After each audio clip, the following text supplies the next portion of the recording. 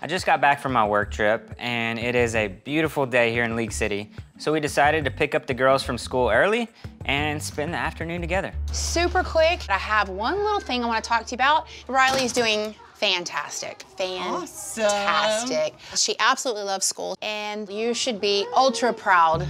It's been almost two months since Riley's moved up to pre-K, and she seems to be loving it. We are a little worried because the kids in her class are a year older than her. So we're happy that she's fitting in so well. We all expected her to do fabulous, and she's doing just that. But the rest of her class, they're five-year-olds, uh -huh. and they don't nap anymore.